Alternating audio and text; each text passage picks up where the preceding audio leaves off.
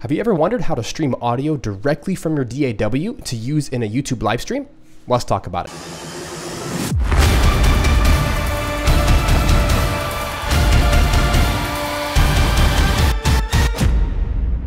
Hi, I'm Steven Melin, music composer, educator, and arranger, helping you to elevate your story.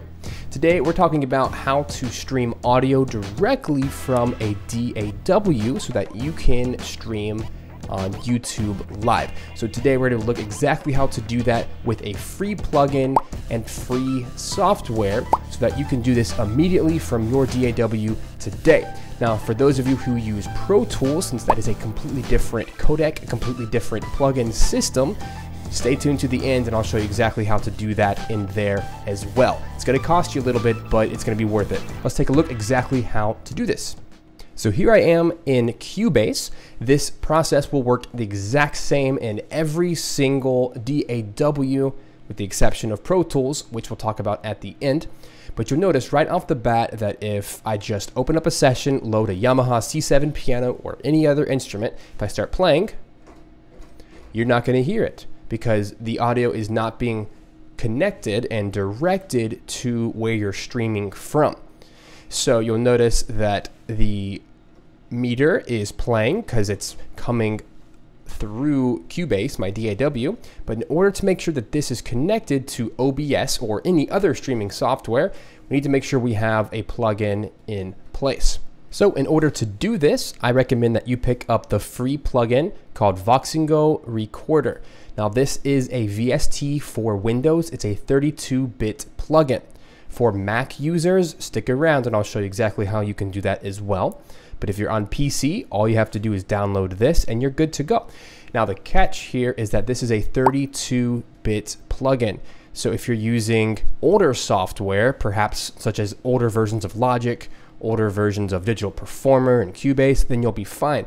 But in recent years, there have been newer versions of these DAWs that are 64-bit, which basically means that they're using more cores of your machine, so they have to have 64-bit plugins. If you have a more recent version of your DAW, you are going to have to spend a little bit in order to convert that 32-bit plugin into a 64-bit plugin.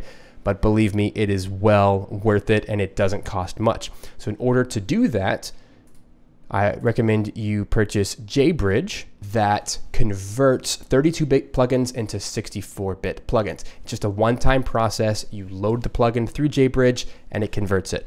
It's very, very useful for loading older plugins in your newer software. Now, this is available for both Windows and Mac, so it's a great solution for both sides of the equation. Now, JBridge, it does cost about 17 US dollars, but well worth it because I don't know about you, but I have old plugins that I like to use in my newer software. So that's kind of a, uh, a no-brainer there. So once you've done that and you've made that conversion and we hop back over to our Cubase session, I can go to my master channel, my stereo out, type in Voxengo, and this box pops up. Now, a couple settings here for my MME device. I'm going to set it to my audio interface, which is my Focusrite USB. For my output 2, I'm going to put MME, so it just connects those two items. And then bit depth, I'm going to put at whatever my session is set to, which for me, my default is 24 bit. Then as soon as I hit start, you'll notice as soon as I start playing, it now comes through. And the reason I know that is because if I go up to my top screen where I have OBS loaded, which is how I do all of my streaming, free software, you can check that out. You'll notice right up here under this section that says desktop audio, which is the default routing for OBS, when I start playing, you can hear it because the desktop audio meter is playing. Because what that's doing is it is loading this Voxengo Recorder 64-bit plugin and it's routing it directly to OBS. So that's essentially what we need to do. Now, you're not hearing what I'm hearing because of my headphones, which are connected to my audio interface. So that's really good. That means I can actually set up particular items that I want to hear that you don't need to hear, but that can also create a little bit of confusion because actually when I play this right now, it's double because I'm hearing the headphone version and the OBS version. So very quick, easy solution for that is just to go over to my computer keyboard and hit the mute button. And all that does is it X's out my audio interface from going to my headphones. And now I hear exactly what you hear, which is what we want because when I'm doing a live stream, I need to hear exactly what you're hearing at the exact level that you're hearing it at. Now you'll also notice that within OBS, I have my desktop audio set to negative 5.5 dB. I found through experimentation that setting it to Unity, which is 0 dB, really peaks and it, it sounds really nasty and there's too much volume coming through. So I've just found that around that spot, around negative 6 dB, something in that range, uh, really allows the volume to hang out in the yellow range without ever peaking into the red, which is another reason why I talk so much about putting limiters on your stereo out. a limiter just crushes all the volume down to a ceiling. And so in this case, I do negative 0.1 dB. You guys who watch a lot of my content, you hear me say that all the time. So just plop that on your stereo out and it'll make sure that the audio that you're sending to the stream or to the video that you're recording never goes beyond that peaking point, which would pop and sound nasty. So that's essentially all that we need to do. And if your session is ready to go, then I would go over to YouTube, go up to the top of my channel, the little plus icon, go live. Once that loads, I need to hit new stream and I can set whatever I want here. Let's just do test video, new stream. And then once my auto-generated key comes up, I can copy it, go over to OBS, go to settings, stream, and then copy and paste over. You can see that it is the same if I wanted to show them hide it if you don't want to show it, apply, okay. And this is something you have to do every single time you create a new stream with YouTube. And then as soon as I hit that start streaming button, boom, it's going to appear on my YouTube live screen. And then I can hit this button, which turns from edit into start streaming. You can click that red button and the stream will start. It's good to keep in mind that when you stream, there's going to be about a 10 to 15 second, maybe a little bit longer latency there's going to be that wait time between what you're doing and when the audience actually sees it. So it's a good idea to um, ask questions throughout the stream so that they can answer. So for those of you who use Pro Tools, let's take a look at a little bit workaround we have to do to make sure audio streams from there.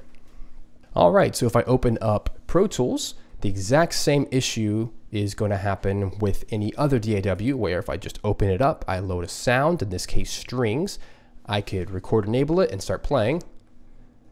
And notice how the Pro Tools audio meter is going up and down because it is receiving audio and I can hear it in my headphones because that's how I have it routed. But the problem is you can't hear it on the live stream or recorded video. And so in order to fix that, we have to use a plugin that is appropriate for RTAS, RTAS, if you're using an older Pro Tools version, or if you're using one of the more modern Pro Tools versions 11 and up, then you have to use an AAX plugin. And the trouble with that is a lot of companies don't make plugins for that. So if you're going to use an older plugin like the Voxengo Recorder, there is no um, AAX plugin version. So we have to use a wrapper, very much like JBridge. So in this situation, we need to grab a plugin called the DDMF Meta plugin. Now, the good news is you can try this out. There's a demo at the bottom for Windows or Mac, and it cost $50, which is a little bit of an investment, but I feel like if this is something that um, you're going to be doing a lot of streaming within Pro Tools, it's something you have to have. You have to have some kind of wrapping plugin to get that audio routed without having to do any super complicated routing um, with your audio interface. I don't know about you, but the simplicity of just hitting that mute button on my computer keyboard and streaming by loading one plugin, that simplicity is very nice. That the fact that I can do the exact same streaming process for any of my DAWs for all of my live streams, that is a huge win for me. So once you download DDMF, you can open up Pro Tools again. Once you do that, go over to your master track, just like we would in any other DAW. And there's a new little category here called wrapped plugins, meta plugin. This plugin is an AAX or an RTAS, depending on your Pro Tools version. and it actually lists out every VST that you have on your computer. You find them quite easily. And so what we do is we scroll down to Voxengo Recorder, and we're going to click and drag it into the interface. And then over here we have audio input and audio output. You can click and drag those wherever you wish. And we have this little output L and output right, left and right. We click and drag those to connect them. You can actually choose how much dB it gets, or you can set it back to zero by double clicking. And you just connect them to the ins and the outs, little arrows. And as soon as we do that, everything's connected, but the plugin is not turned on. So we have to double click the plugin, open it up and do the exact same process of selecting our audio interface, output to MME to connect those two, bit depth 24 and hit start. And now everything is running, that's loaded. And now as soon as I start playing,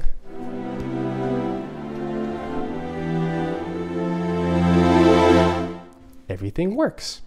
And then exactly like before, I would go back to OBS and you'll notice that once I'm playing, my desktop audio meter is very happy. And that's how you can tell whether or not your audio is coming through to the live stream by using that desktop audio meter there. Thanks for watching, guys. This is helpful for you. Hit that like button and subscribe to my channel for more content like this.